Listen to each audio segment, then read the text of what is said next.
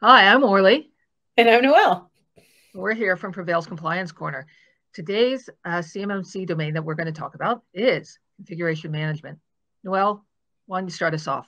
Sure. Configuration management is the process of maintaining systems such as computer hardware, software in a desired state. It's a method of ensuring that systems perform in a manner consistent with experiences and expectations over time.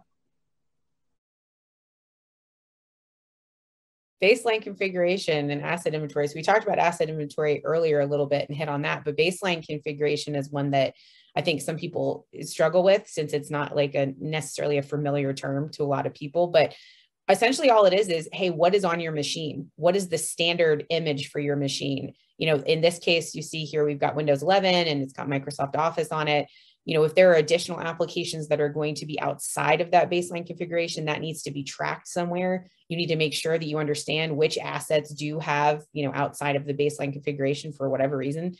So it the idea being that if you know what's on all these machines then it's a lot easier to make you know to track them and and to do those updates and do those patches as necessary and what have you. It just makes it a lot easier across the board to manage security when you know that everybody's on the same image. We hope you enjoyed this video and if you enjoyed this one, please check out the 13 others we have in this series.